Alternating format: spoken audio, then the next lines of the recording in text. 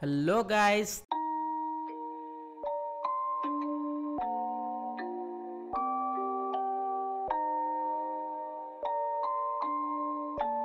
Rage on that beat, going crazy.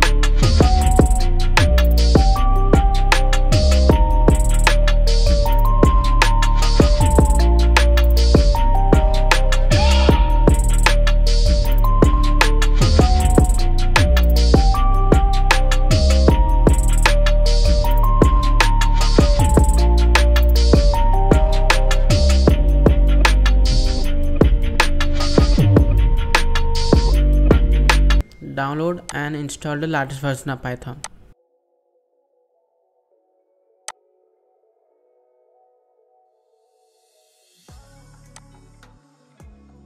And also download the Python in the extensions. This is the important part.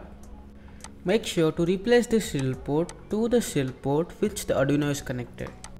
To check your serial port, open the Arduino IDE again and go to tools and check your serial port. Here you can see a URL. When the door is open or the IR sensor detects something, then it also opens a specified URL in a web browser. You can also change this URL.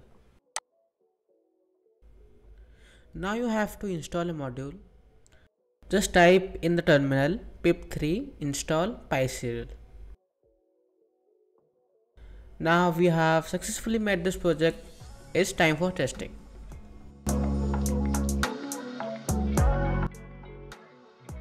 Connect the Arduino to the PC. Then run this code. Here you can see the IR sensor. When I pass my hand in front of the IR sensor, it suddenly opens a specified URL. The response time of opening a browser is totally depends on the specs of your PC.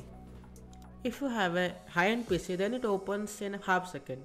If you have a low-end PC then it takes 2 to 3 seconds to open browser.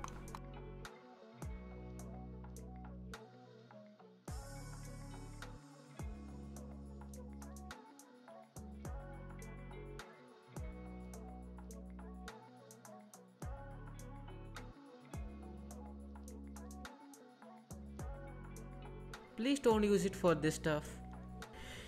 If you like this video then subscribe my channel. It's free bro